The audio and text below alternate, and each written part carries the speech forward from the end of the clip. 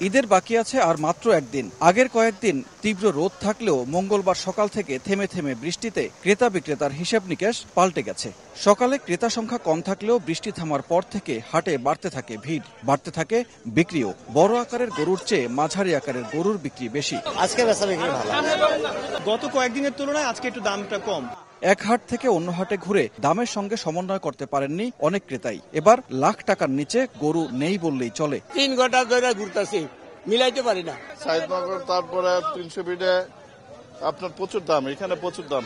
একশো ফিট থেকে এখানে আসলাম। মোটামুটি বেশি।